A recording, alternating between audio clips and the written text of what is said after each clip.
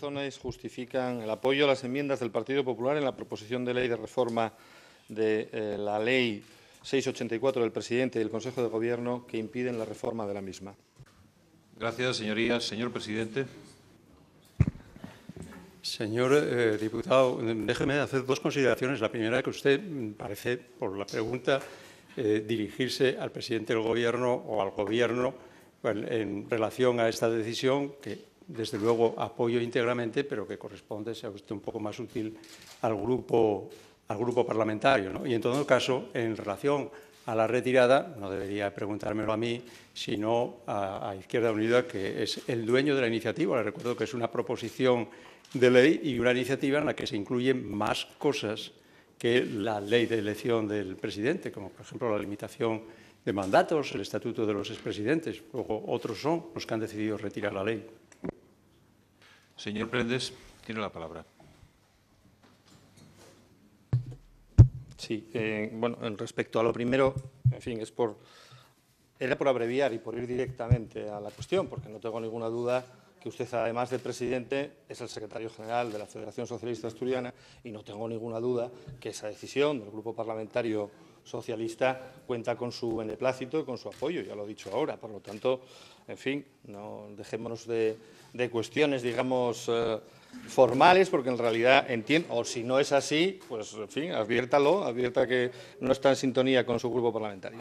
Y sobre la segunda cuestión, mire, la, cuestión, la, cuestión eh, no, es, no es menor, porque en esa ponencia, al menos hasta que entramos a la ponencia, había cuatro grupos parlamentarios que estábamos dispuestos a impulsar la reforma en un sentido determinado, o al menos así se había manifestado en la toma en consideración, en la comparecencia de los expertos en esta Cámara el 5 de mayo y en la misma formulación de las enmiendas, que iban en una línea determinada, hasta que la eh, ponente del Partido Socialista cambió el sentido de, fin, de, su apoyo a la ley y pasó a apoyar unas enmiendas del Partido Popular que eran absolutamente claras. En este, en este sentido, sí tengo que agradecer la claridad del Partido Popular.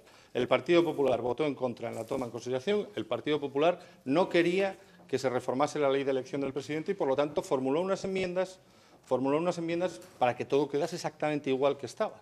Pero ustedes votaron a favor de la toma en consideración. Este ya es un asunto, recurrente. Esto ya ha pasado en otra ocasión aquí. Y no es un asunto menor tampoco, porque mire, esto se trataba básicamente de sacar a Asturias de la excepcionalidad en la que vivimos en un asunto importante, como es el de la elección del presidente del, presidente del Principado.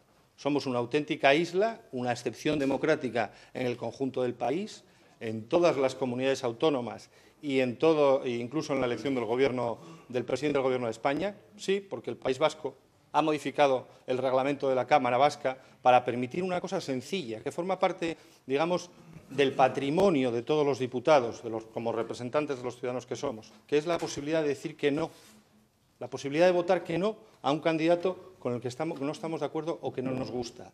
El único sitio del país donde eso no se puede hacer en el caso de que haya un único candidato es en Asturias. Es la única excepción, una excepción democrática, absoluta, como, le digo. Y eso, aparte de impedir el ejercicio de un derecho eh, básico de, los diputados, yo creo que introduce determinadas, eh, determinados problemas, eh, determinadas debilidades en nuestro sistema democrático. El primero de ellos, evidentemente, que propicia gobiernos débiles, y aquí los hemos conocido en Asturias durante, durante muchos durante mucho tiempo, los hemos conocido, ¿no? Induce efectivamente a que el Gobierno pueda permanecer sin contar con la confianza explícita de esta Cámara. No necesita la confianza explícita de esta Cámara, que es tanto como decir que no necesita la confianza de los asturianos. Sí, es así.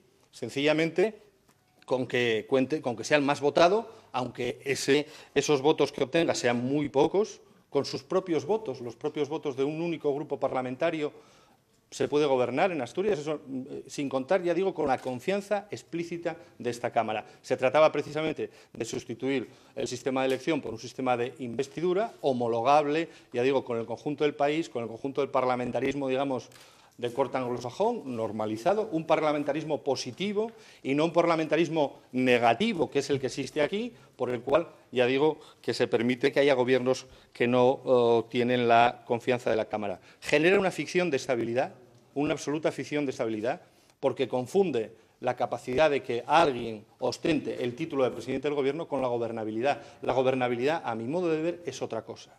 Es la capacidad de desarrollar un programa de gobierno, la capacidad de hacer política, la, pos la posibilidad de tomar decisiones y no esta falsa ficción de estabilidad en la que estamos ahora inmersos en Asturias, porque usted no, no, tiene la confianza de esta Cámara. La tuvo en su momento, pero yo creo que ahora mismo no la tiene, como no la han tenido otros presidentes señor en esta. Y esa debilidad, esa debilidad, de, esa debilidad de las instituciones en un momento, en un momento como este, esa debilidad de las instituciones en un momento como, como este no nos parece que sea lo más adecuado. Y además, mire, hace falta claridad en los pactos, en los acuerdos. Yo soy favorable a los, a los, acuerdos y a los pactos, y usted mejor que nadie puede acreditar eso.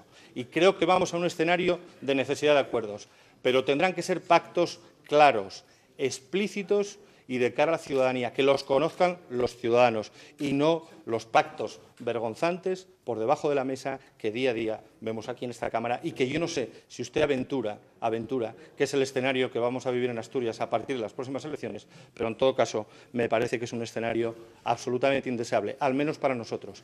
Queremos gobernabilidad y no simplemente gobierno. Gracias, Gracias señoría.